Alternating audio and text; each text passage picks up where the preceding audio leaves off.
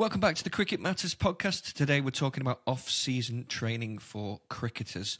Uh, James, you like to break this down, or we like to break this down into three phases. What are the three phases? And then we'll dig into them uh, more in depth for each one. Absolutely. So, phase one is essentially recovery, mobility, and injury prevention. And what I mean by that is it's recovering from the season because cricket and the season takes a long, hard toll on the body, and we have to address and give it time to recover, repair, and reset. So, that's phase one, which usually lasts one to two weeks. Phase two is a strength and power phase.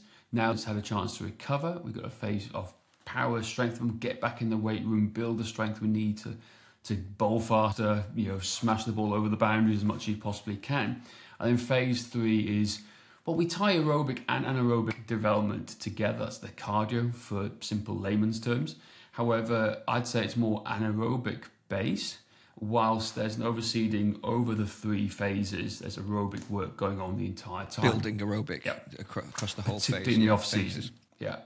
So we do that more time because because the aerobic stuff improves recovery, it helps injury prevention, it gets you fitter. It also helps recovery from the strength and power stuff, and then it helps you build the the, the volume, the engine, basically for the season too. So those are the three areas we like to focus on and, and split it up. So if in the UK, that means September is injury at that recovery phase. October into November is that strength and power phase, and then leading up to Christmas is the start of the anaerobic phase, and building on working on the aerobic phase ready for pre-season starting January. What about any downtime? Because obviously coming back off the uh, you know off the back of a long cricket season, any any downtime at all? A couple of weeks off, or you, would you say go straight into like yeah you know recovery maintenance uh, for for injury prevention, as you say? I think it's it's important to reframe it. I think it's important to have time off from cricket right? So I'm not talking training. I think training is a 365 day year approach. That's the, that's just changing mindset around there. Because if you, it's once you come off the training bandwagon, it's hard to get back on it again. And it doesn't mean training hard all the time. It means training sensible, training smart, but taking a break from cricket. Like already, I'm seeing people, particularly young kids, going back in the nets, ready for next season. They haven't had a break. Like, give them the chance to go and play other sports, enjoy things, enjoy everything else that's out there. Because cricket is fun, it's exciting, I get that. However, it can take a toll on the body and you can get bored of it. And it's about staying fresh and mentally ready as well. So, I definitely recommend taking a break from cricket. In terms of training and fitness and things like that, well, it depends on the person involved. We are, we are encouraging athletes to, to always do something every day right? Whether it's nutrition based, whether it's mobility recovery, but going for a walk, it's important to do something and maintain that training cycle. So it depends on the athletes we're working with. So yes and no is the answer. It's not an easy, simple answer. If that helps. No, that's good. Uh, I'm just going to say, go back to what you mentioned before about getting back in the nets and you know young kids, you know, not really having a break and doing a lot of cricket. It's something that Mike Boyle talks about, isn't it? About don't specialise too early enjoy enjoy your life, enjoy playing other sports, whether that's football or rugby, tennis, whatever it is. Go out and do other things. Don't specialise too early. Do you think that's important? Yeah, absolutely. That's one of the things I just written. We did an, I did an assessment for a lad at Cardiff called Will on Saturday, and we looked at his overall fitness and we looked at some of his technique work. And one of the things I recommended in my report for him, which we do when we when we analyse anybody, is what's he going to do, what he needs to do next. And my recommendation was go and play football. Go and play as much football now in the next few months. You know, yes, work on some other things and work in the gym, but go play football. Enjoy the time playing football because you can focus on cricket again, technical stuff, maybe come January or maybe in December when he starts up with the with the pathway squad. But take that break and go and enjoy it because it just adds a level of cardio, training, fitness, uh, coordination, balance skills, doing all these sports. It's just it's just so much better, and it's all the research leads to multi sporting athletes at a young age develop better. And you always know it's it's not surprising to see. You know, let's take AB de Villiers in terms of cricket. He was a great tennis player, great rugby player, great football player. At the same time, you know, great athletes tend to be good at all sports, and we encourage multi-sport activities as much as we can, particularly with youth athletes. Hmm. Yeah, absolutely. So as we say, phase one, it's all about uh, recovery, injury prevention, and improving mobility. Because generally, in our time training cricketers, we've found that not many of them have very good mobility. Do they? Something that cricketers definitely need to uh, need to work on. So phase two, let's talk a little bit more about the building the strength and power. Where does where does fat loss come into this? Does fat loss come into this phase? Oh yeah, it does actually across everything. I think that's again that, that comes in the overall strategy over overall.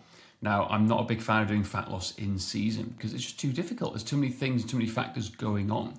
However, when it comes to the off season, the first thing we recommend everyone doing is assessing where is their fitness right now, where is their health right now, and do they even need to lose a bit of weight? Because now is the time to lose weight, not January, right? Now is the time if you if you're slightly overweight and you need to lose a bit of body fat, now is the time to do it between September, October, November, ready for Christmas. Okay. Be careful of Christmas. exactly. But also we, we set people in like give them methods to, to manage the Christmas period effectively as well. Not saying diet over Christmas, never. But when we're coming in January, we're fit, raring, and eager to go. That's the key thing here. Now, we don't want to be in a fat loss stage in January, February, March, because that's building up to the season. So it depends on the athlete involved. Now, there will be an element of strength and power work with all the athletes because we've got to build that foundation now, ready for pre-season, ready for the season, which takes an even bigger toll on the body. So these time, this time now is, you know, we always say this period between I'd say 1st of October and just before Christmas is key in the strength and power thing. And we want people in the weight room as much as possible because come January, February, all the way to the end of the season in the UK, particularly until September, the weight room is going to have less of a, a priority, I think is the best way to put it. Still continue to train, though. We'd highly recommend that you still do train, ideally twice a week, obviously for uh, lower intensity, lower volume, but you, you should always keep up your training during the off, uh, during in season as well. Okay, let's move on. What about um, the aerobic base? You mentioned it runs across all three phases, really. Why, should, why do cricketers need this to focus on this aerobic base building as well?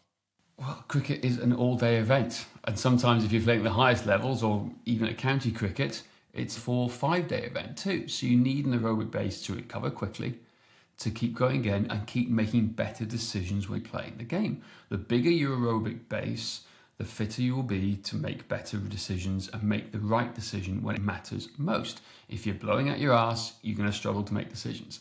And you can't just do that from doing a series of shuttles for 20 minutes. Cricket's not a game of 20 minutes. And you never know, as Steve James on the podcast recently said, you never know when you're, when you're going to score those big runs, right? So you've got to prepare for it as if you're always going to score those big runs and be fit enough to recover fast enough, okay? That could be for bowling as well. Bowlers are going to have this energy in the tank as well, so they can get through those 10 over spells if they're doing it at the same time. So aerobic capacity is like kind of the overarching theme of all three phases, right? And what I mean by aerobic capacity, light intensity, longer piece of work. I'll give an example. I'm currently wearing a weight vest, right, here today as we're doing the podcast. You may think I'm crazy. I'm working from home. Why am I wearing this weight vest? Well, twofold. One, it's actually for fat loss. I'm trying to improve my fat loss because I put on a couple of kilos over the summer and I'm trying to lose that as quickly as I possibly can. But two, it's building up a baseline aerobic capacity. I'm wearing this as I'm walking around the house. You know, now I'm not saying you should wear this around the office or like go to school wearing these things. Put your suit and tie on over it might look like exactly. Yeah, look like a Michelin man in some respects. yeah, but I can do that at home, and that's like three, four hours training. Where I'm just I'm at my stand-up desk. I'm working at my stand-up desk. Right, I've got this on. I'm building low intensity threshold where it becomes light and comfortable. So if we'll do a separate podcast altogether on how we're using the weight vest for, for fat loss.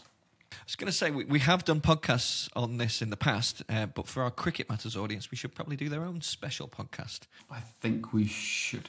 But you know, for in terms of aerobic development, I'm a big fan of long hikes, walking at big mountains, particularly here in Wales. I get up a mountain as often as possible. I'm up for walking at least 30 minutes a day, as much as possible, and just doing low intensity, long pieces of running, cycling, and even rowing in some cases, or even swimming if you like swimming and you're good at swimming, right? Just so we can have this long, easy intensity base that we're building ready so you can recover faster when we go to the hard anaerobic sprint sessions we do later in this development and ready for the sprint seasons in terms of January leading up to the season. Mm, absolutely. Uh, do you want to dive into the anaerobic work or we or recovery potential overtraining? Because again, we're talking about when I say recovery, you know, sleeping well, eating well, etc., which is really important um, during off season when you're starting to ramp up your training, especially. Yeah, I think the a lot of the anaerobic work we do is around. I wouldn't say it's always around running. Now, there's an element. Some of some of the guys we work with, we need to improve sprint mechanics, and we want them sprinting to get them faster, right? But that is you know once twice, and it's easy-ish work. So we want to keep them. We want to get them sprinting as often as possible, as fresh as possible, as fast as possible, right? And it's not always possible for people at home to time themselves if they're doing it. But what we'd like, I'm a big fan of, and I keep talking about it time and time again, is the assault bike and getting guys on the assault bike and doing short, sharp bursts and also extending it out. A good example is you we do a couple of testing modules. We see how many calories they can hit in 15 seconds. We do 15 second bursts, rest until a certain time or heart rate, and then go again. And we kind of build these repeated cycles on the assault bike because I think it's a great athletic developer that's not too hard on the body and it's great for all the athletes involved. So it's short, sharp bursts, but specific and concentrated. We're not just doing these finishes at the end of the strength workouts, it's a dedicated conditioning session around it. So, what would you say a good, well structured off season training plan should look like? What are, what are all the elements we need to make sure that they have? In terms of the early part, phase one, mobility work, recovery work, soft tissue work, even, I think a lot of them neglect post season. Go and get yourselves a good massage. I think we need to interview a couple of guys to show them how what a good massage is and what they need to look for from a massage therapist. Potentially, that's an idea for a podcast. That's the first phase, but that continues. Keep keep doing your mobility. If even if it's yoga, go to yoga. That's a great way to, to prep and do it. In terms of strength, it's heavy work. We're going to go do some heavy work, and I say heavy work is a mixture of three to five reps it's with some higher hypertrophy type work as well, with six to 10 reps sort of range as well in what we're doing here. But it's the power work. You've got to be powerful and explosive as a cricketer, whether it's bowling, whether it's batting, whether it's running in the field. So there's a lot of explosive development work in the weight room. It's not just bodybuilding stuff that we see all the kids doing at the moment. They want to look vain. They want to look like all the uh, Gymshark influencers, all those sorts of guys. I'm seeing a lot of young kids going to the gym, copying these influencers, but they're actually getting slower because they're training to be a bodybuilder and a fitness model as opposed to a yeah, cricketing not, not to be athletic. Exactly. Exactly. Um, anything you want to just round off with, or that, that was a pretty good summary, but anything you want to add on before we wrap up? No, I think that's fine. I think if they want an idea of how we train people in the off season, is to go and download our free train guide. Go to the website, download our seven day training plan. It's a good example and an idea of what you could be doing in the gym during the off season. I think that's a, it's a great start. And I think maybe we dive in later down the line and actually do a specific and talk about a specific program for one of our athletes so they can see how we structure the whole week, maybe in terms of the, their development. So maybe that's it. There we go. Exactly. James, you stole my line. If you would like our free trainer plan, you can go to cricketmatters.com forward slash train. And uh, that is it for today. Please don't forget to rate, review, and subscribe, and we'll catch you next time. Thank you very much.